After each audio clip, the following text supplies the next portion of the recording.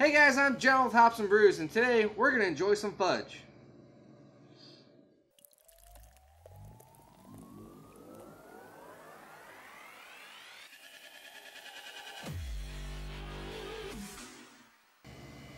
So today we're going to be trying Riverbend Brewing's Fudge Me Berry Hard.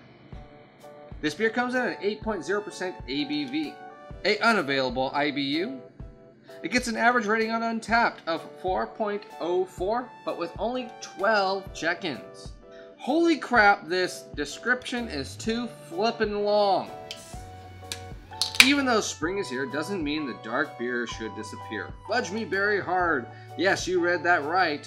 Is a creamy, delicate imperial milk porter with a giant addition of raspberry puree, cocoa nibs, and vanilla. Decadent, dessert-like, and delicious with flavor notes of milk chocolate, ripened raspberry, and hot cocoa. Served in 16-ounce 4-pack cans and very limited draft, it is a switch compared to our very heavy IPA wheelhouse. Although it's something we have wanted to brew for years, Riverbend Brewing is located in Bend, Oregon.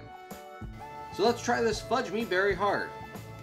Right away, it's black. It's just, dark, just black. Uh, it's got a khaki, creamy color head, but it's a very light. I tried giving it an aggressive pour, but it's still very thin.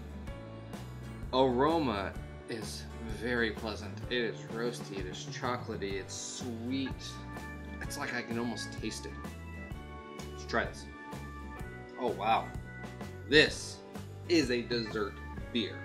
It's thick, but not too sweet at the front end. Actually, that's that's the best part about this beer. It's now definitely sweet. It is very candy-esque sweet. It really tastes like if you ever had those chocolate dipped uh, like raspberry sticks, kind of more of the dark chocolate side. This tastes like that. I've had beers where people said, "Oh, it tastes like that," and I tried. I was like, "No, no, no, it doesn't." This tastes like that candy. It's 8%, it's a big beer. It actually feels and tastes like it's a bit bigger. It feels and tastes kind of more like a 10, 11% beer. So my mind's telling me I'm gonna get drunk on this, but probably I'm gonna get more of a sugar rush. Damn, very delicious.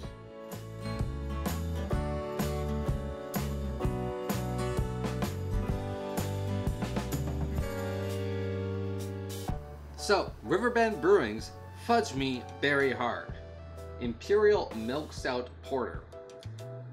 It's a dessert beer. It is a 100% dessert beer. So the only real complaint I was trying to come up with about this beer was it's overly sweet and possibly served in too big of a can. But then that got me thinking, I want to have this beer more by like a fire pit, fireplace, you know, camp out thing at nighttime and take my time with this beer. And as I was drinking, it evolves. This beer is perfect for that. This is one of those, I could easily be a one and done beer or maybe a little more. It is a nightcap type of beer. You need to take your time with this beer. This is not a chug beer. This is not a, I'm gonna drink this in 10, 15 minute type of a beer. This is a processed beer. You have to take your time and drink this beer to really appreciate it. I think it might be a little bit better in a 12 ounce can, but the 16 ounce can does lean itself more toward the masses. And the fact that they did a dark beer in the springtime is fantastic because right now we're just oversaturated with IPAs and sessional beers. And I'm looking for a good dark stout. Sometimes I crave a good dark beer.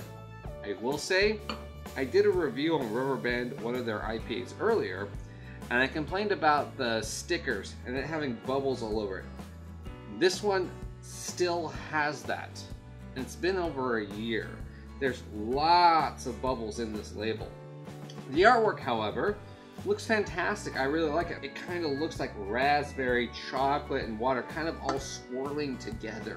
But the bubbles on the sticker and the can kind of ruin it. Check Riverbend out. If they have this on draft, be phenomenal. You'll just be able to sit back and relax and kind of just wind down. Kind of a beer. Cheers, guys. So today we're going to be trying. Uh, you know, I should probably look up the beer so I can uh, seamlessly talk about it. That's an idea, right? Hey guys, if you like this video, follow me on Instagram, Untappd, Twitter, Facebook. All the big social media stuff will be in the descriptions below. Leave a comment or two if you want. I like this review, I didn't like this review. I like how you do this. I want to see you do this. Talk about more about this. Thanks, guys.